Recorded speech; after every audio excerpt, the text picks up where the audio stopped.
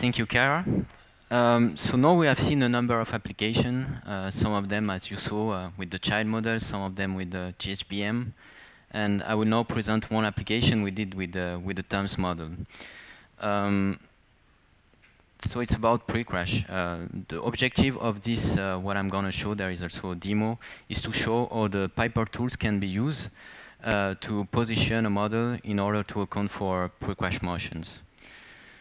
Um, the demo I will show, it will cover uh, actually three aspects mostly um, of the pre-positioning tool, uh, which is loading an environment, uh, joint positioning, um, and also uh, what I call landmark positioning.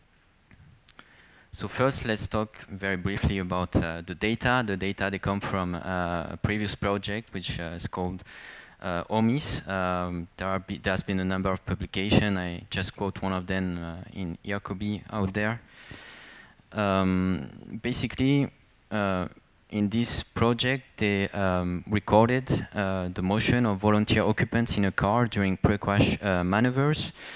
Uh, as you can see, there is a number of markers which have been positioned on the on the body, uh, and there was a set of camera also positioned on the on the car to record the, the motion. Um, in this project, they focus mostly um, on the occupant motion, sorry.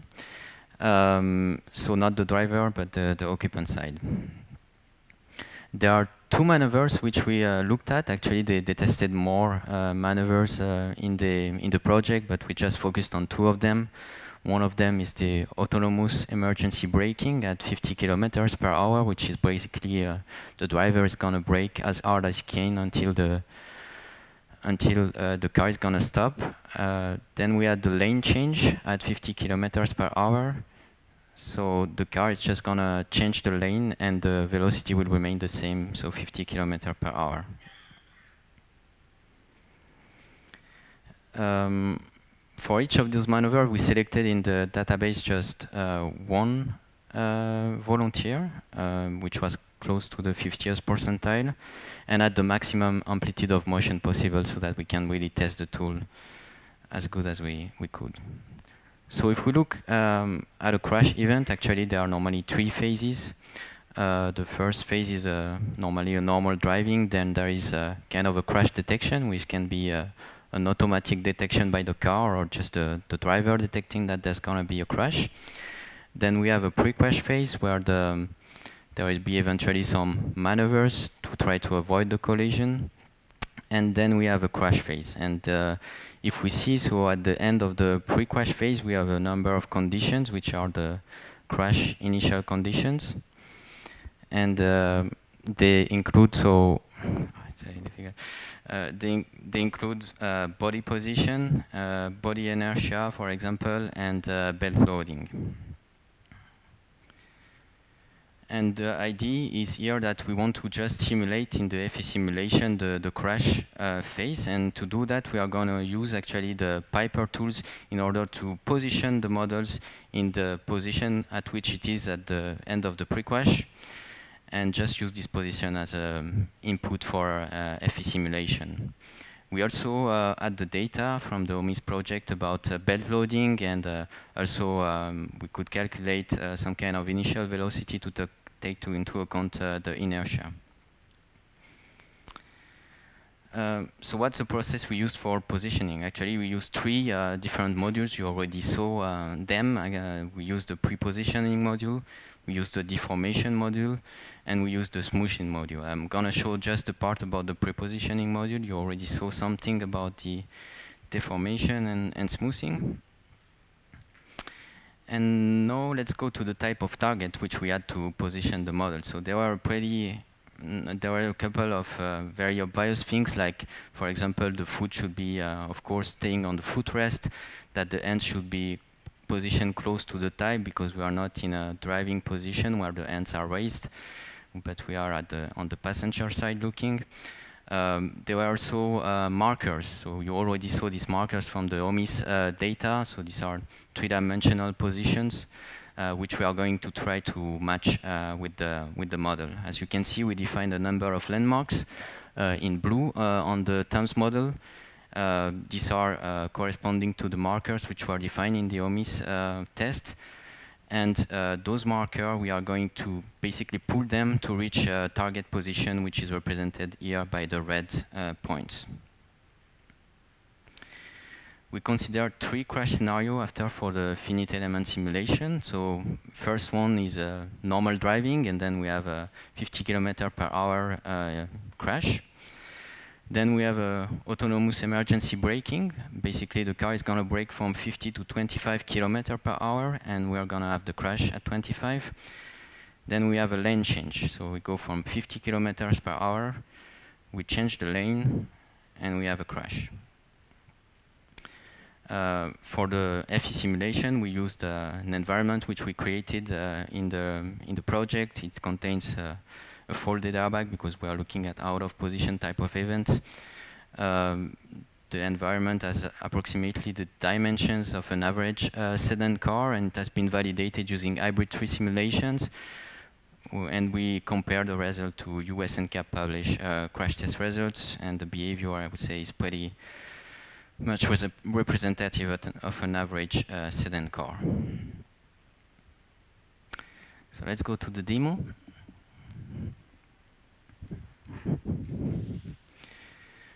Um, so the first thing um, I'd like to show you um, maybe is the environment. I already preloaded the, the environment. Uh, it's very easy to, to do it. You just go to environment model, you need to add the environment. It's pretty straightforward. I have blanked it right now, but I can show you. So now we have our model, we have our environment, and we already see that there are some things which are not correct. Here is the initial position of the THUMS model. This is the original uh, position of the THUMS uh, model. And we see that we have to reposition basically the legs so that the feet will stay on the footrest.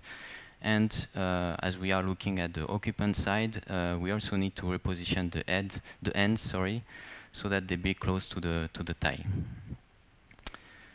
Uh, I have already uh, imported some targets, um, which I had prepared from before. I'm going to load those targets right now.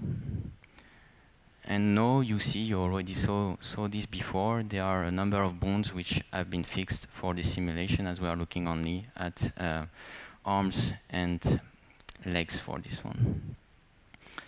Um, other type of targets that I have defined are joint rotations. So I have already done this exercise. No normally it should be kind of a iterative thing that you're gonna change the angle of the different joints and you're gonna stop until you you reach the, the position you, you are targeting.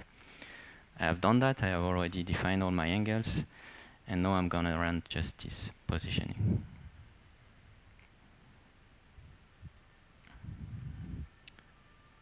So okay, now I'm happy, my feet are well positioned, my hands are okay. So I can stop the positioning. And um, now what I need to do is to really look at uh, what we were talking about, which is the pre-crash position. So I need to change the position of the trunk so that I can match the, the target uh, position we have talked about before.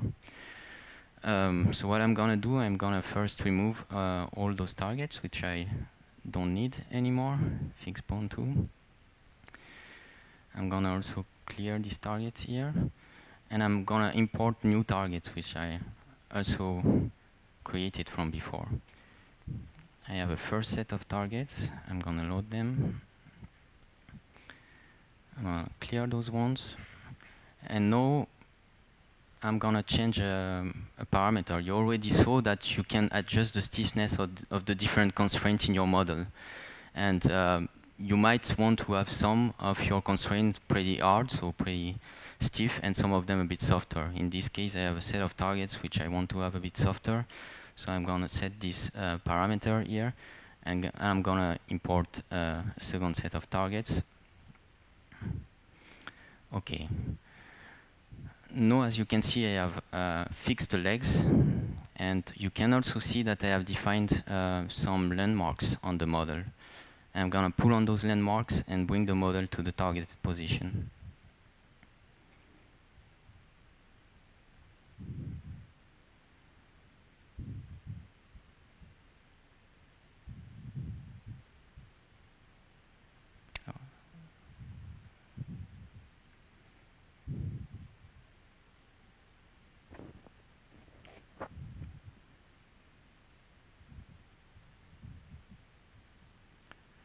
So you see the model moving. is trying to reach uh, those target markers we talked about.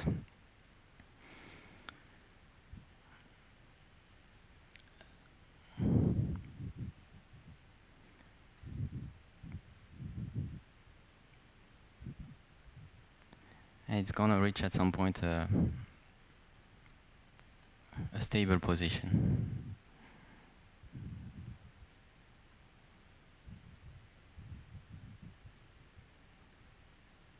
Okay. Sounds to be good. I can stop the positioning. So now I have done the pre-positioning. What I could do actually is to go to the deformation module and uh, I would get a bit of a better deformation and then I could smooth this model in order to correct um, the, the problems we have already see with, seen with, uh, with THUMS. Um, so this is it for the, for the demo. Um, now I'm gonna show you so the, the results once we have done all the process, including the smoothing. Uh, this is in blue here the original THUMS position. In green you have the normal driving position.